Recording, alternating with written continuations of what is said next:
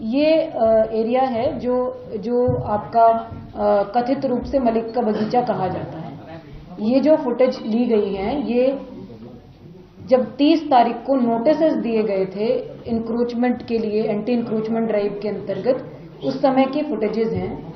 और इसमें आप लोग ये देख पा रहे होंगे कि ये जो छतों का क्लोजअप है इन छतों पे किसी भी प्रकार के 30 तारीख के दौरान कोई पत्थरों की बहुत बड़ी संख्या में मात्रा जमा नहीं दिखाई दे रही है। ये थर्टियथ जब नोटिस सर्व करे गए थे इस एरिया में जो इलीगल इंक्रोचमेंट्स हैं, उस वक्त की फुटेजेस हैं, इसमें जो छतें आपको दिखाई दे रही हैं, वो एम्प्टी हैं, उनमें कोई बड़ी भारी मात्रा में पत्थरों का जवाब नहीं है। इसको बंद कर दो आप। अब आप नेक्स्ट फुटेजेस पर आ जाओ एक एक करके सब चलाते जाओ। इसको हटा दो। चला लो चला लो, इसको पूरा चला लो।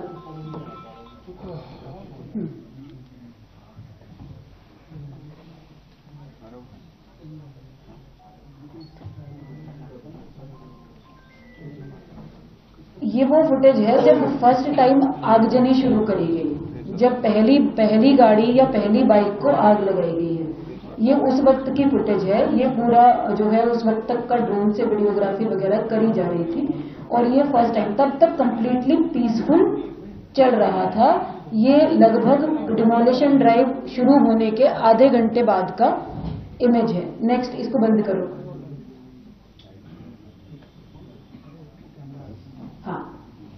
ये जैसा कि आप देख पा रहे होंगे, ये फ़र्स्ट टाइम की आगजनी की फ़ोटो है। जब फ़र्स्ट आगजनी हुई थी, ये थोड़ा सा क्लोजअप व्यू है, वो दूर से था। इसको बंद करो। नेक्स्ट ले लो।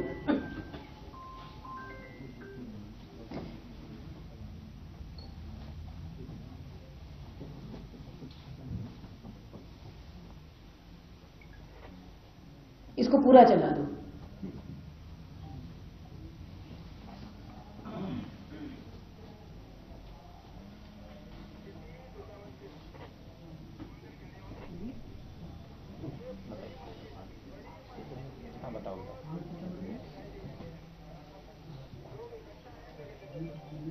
क्या क्या कह रहे हो?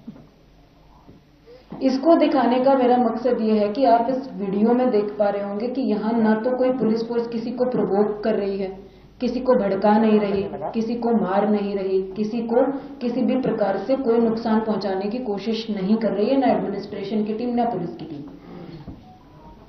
ये आप मॉब देखेंगे। ये वो मॉब है जो पहली बार इकट्ठा होना उस गली में शुरू हुआ जब आगजनी शुरू करी गई। जो पेट्रोल बम फेंकना है या किसी भी प्रकार का वायलेंस है जो शुरू किया गया, उस वक्त ये मॉब इकट्ठा हुआ अचानक से। ये डिमोलिशन ड्राइव शुरू होने के 45 मिनट्स बाद की फुटेजेस हैं। पीसफुली डिमोलिशन ड्राइव शुरू हुआ। प्रिवेंशन के लिए फोर्स लगाई गई। अतिक्रमण की कार्रवाई के लिए जितनी फोर्स रिक्वायर्ड होती है, वो लगाई गई। लेकिन कुछ अराजक तत्वों के द्वारा अनप्रोवोक्ड अनहार्म्ड अनटच्ड तरीके से पूरी कार्रवाई होने के बाद भी बड़ी मात्रा में within half an hour इकट्ठा होकर जो है हमारी जो टीमें हैं नगर निगम की, उन पर पहला अटैक किया गया पत्थरों के माध्यम से। पत्थर बरसाने शुरू करे गए, चारों तरफ़ जो छतें हैं उनके माध्यम से। मैंने आपको तीस तारीख की फुटेज दिखाई, किसी छत पर कोई पत्थर नहीं था। तो जिस दौरान ये सारी विधिक प्रक्रिया चल रही थी, जब हम सुनवाई कर रहे थे, माननीय उच्च न्यायालय सुनवाई कर रहा था तो छतों पर पत्थर उस दौरान इकट्ठे करे गए। इसका मतलब इट वॉज़ प्लान्ड कि जिस दिन भी डिमोलिशन ड्राइव होगी, हम उस दिन इस तरह से फोर्सेस को अटैक करेंगे, इस तरह से डिमोरलाइज करने की कोशिश करेंगे स्टेट मशीनरी को। तो पत्थरों का अटैक हुआ जब हमारी टीम पीछे नहीं हटी। हमने डिमोलिशन ड्राइव को जारी रखा, हमारे ऑफिसर्स ने। उसके बाद जब पहली जो, पहली मॉब जो आई पत्थरों के साथ, उनको डिस्बर्स कर दिया गया तो दूसरी मॉब आई जिनके हाथों में पेट्रोल बम थे, जो फ्यूल होता है, उसकी प्लास्टिक की बॉटल्स थी, उसमें उन्होंने आग लगा लगा कर फेंकी। आप लोगों ने वीडियोस में भी वीडियो फुटेज में भी देखा, आप लोग अभी तक सब कवर भी कर चुके हैं। ये फेंका गया। ये भी अनप्रोवोक्ड था। बिल्कुल प्रोवोक नहीं किया गया था। तब तक हमारी टीम ने किसी भी प्रकार का फोर्स इस्तेमाल करना शुरू भी नहीं किया था। They were busy in demolishing the structure संपत्तियों का जो नुकसान हुआ है, परिसंपत्तियों के नुकसान में मुख्य रूप से जो थाना है वो कम्प्लीटली डैमेज हुआ है। थाने में हालाँकि किसी को घुसने नहीं दिया गया, उसको सेव किया गया, लेकिन उसके जो खिड़की दरवाजे हैं, वहाँ जो फर्नीचर है, वहाँ जो अन्य सामान है इवन पीछे से मॉब के द्वारा हथौड़े और गन से भी उसको तोड़ने की कोशिश करी गई थाने को। तो वो एक नुकसान है। उसके अलावा जितनी भी हमारे व्हीकल थे एडमिनिस्ट्रेशन की जितनी गाड़ियाँ थी, वहाँ पर जो नगर निगम की जेसीबी थी, वहाँ जो हमारे अधिकारी, कर्मचारी जिन बाइक्स और व्हीकल्स के माध्यम से वहाँ गए थे, उनको जलाया गया है। कुछ सार्वजनिक बसें वगैरह भी जलाई गई हैं। तो मीडिया कर्मियों की वही वही मैं ऐड कर दे रही हूँ मीडिया कर्मियों की बाइक। मीडिया कर्मियों की बाइक भी वहाँ पर जली है। मीडिया कर्मियों को वहाँ चोट भी लगी है और मेरी पूरी सहानुभूति इनके साथ, सबके साथ है। कोई नहीं चाहता कि इस तरह की घटना कहीं घटित हो। ये दुर्भाग्यपूर्ण है और जिन लोगों ने भी ये घटनाएँ कारित करी हैं सबकी पहचान सुनिश्चित करी जाएगी और जितना स्ट्रिक्ट एक्शन हो सकता है लिया जाएगा। ये कम्युनल नहीं था। इसको कम्युनल ना बनाया जाए, इसको सेंसिटिव ना बनाया जाए। किसी भी दूसरे कम्युनिटी ने या किसी भी पर्टिकुलर कम्युनिटी ने ना तो रिटेलिएट किया इस चीज़ को लेकर ना ही कोई ऐसा जो है धार्मिक जो है सिंबल्स जो हैं, उनको प्रथम बार अटैक किया गया। एक घटना हमारे सामने ज़रूर एक मंदिर के सामने आगजनी की आई, लेकिन वो छुटपुट घटनाएँ हैं। ये स्टेट मशीनरी को चैलेंज करने की कोशिश थी, राज्य सत्ता को और कानून व्यवस्था को चैलेंज करने की कोशिश थी। इसको इसी के रूप में देखा जाए, इसी के रूप में निपटा जाएगा। हम लोगों हम लोग असेसमेंट करा रहे हैं सभी परिसंपत्तियों का शाम को फिर ब्रीफिंग करेंगे। जो भी अपडेट शाम तक की होगी आपको दी जाएगी और हम आपको ब्रीफ करते रहेंगे। फोर्स हमारा जो मैक्सिमम यूज़ हुआ वो थाने के प्रोटेक्शन में यूज़ हुआ।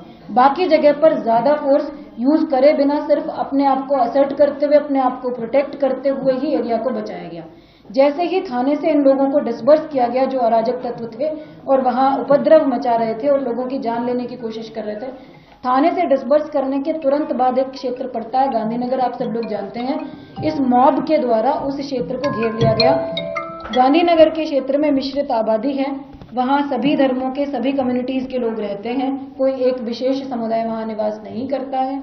उस क्षेत्र को घेरा गया। उससे भी टेरराइज करने की जो है कोशिश करी गई स्टेट मशीनरी को भी और वहाँ रहने वाले स्थानीय निवासियों को भी।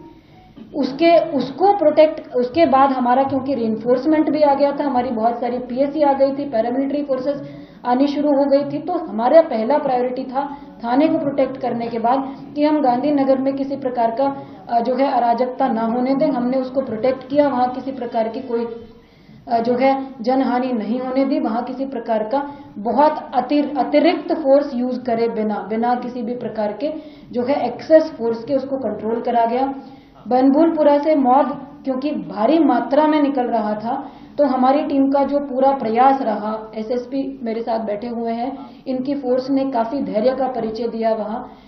पूरा प्रयास ये रहा कि हल्द्वानी का जो मेन शहर है, उसको बचाया जाए। उसमें किसी भी प्रकार से मॉब को एंटर ना होने दिया जाए। जो प्रभावित क्षेत्र है, उसको लिमिट किया जाए। उसको लिमिट किया गया। लगभग पूरा ही प्रशासन, पूरी पुलिस फोर्स इस काम में लगी हुई थी कि हल्द्वानी के अन्य क्षेत्रों में बनभूलपुरा का प्रभावित क्षेत्र छोड़कर अन्य किसी क्षेत्र में किसी भी प्रकार के रिटेलिएशन में या किसी भी अन्य रूप से कोई घटना घटित ना हो तो हमको कृष्णा हॉस्पिटल से दो बॉडीज की सूचना मिली थी और एसटीएच से दो बॉडीज की सूचना मिली थी। उसके आधार पर प्रारंभिक सूचना चार की दी गई थी, जिसके साथ ये कहा गया था कि इसको वेरीफाई करा रहे हैं। जब बाद में उसको वेरीफाई कराया गया तो ये निकल कर आया कि कृष्णा हॉस्पिटल ने उनको एंटरटेन नहीं करके क्योंकि ब्रॉड डेड थे एसटीएच में भेज दिया था तो वही दो बॉडीज जो है वो कृष्णा में भी काउंट हुई और एसटीएच में भी। उसके कारण ये चार का कंफ्यूजन क्रिएट हुआ। अभी तक जो ऑफिशियल इन्फॉर्मेशन है वो दो दो